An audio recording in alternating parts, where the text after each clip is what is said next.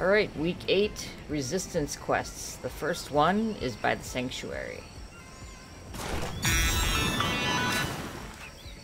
Victory! well, temporary victory. Hey, it's been a hard fight.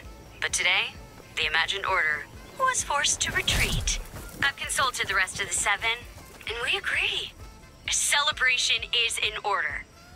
Deliver these party invitations to battalion leaders across the map.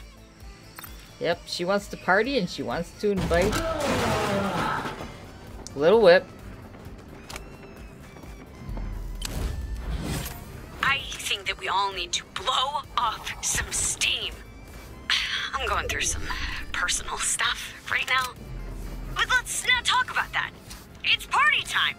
Woo! She really wants to party. She also wants to invite mancakes.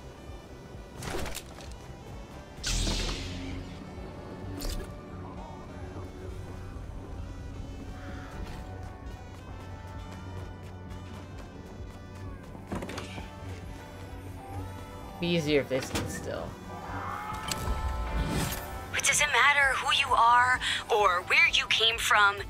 If you fight for us, you are one of us, right?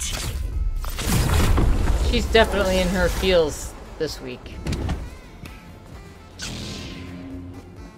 Bao Bros is the last on the list.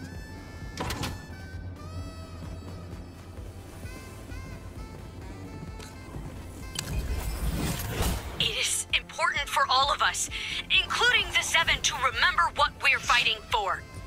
The island, reality itself, and most importantly, you, the loopers. Definitely in her feels.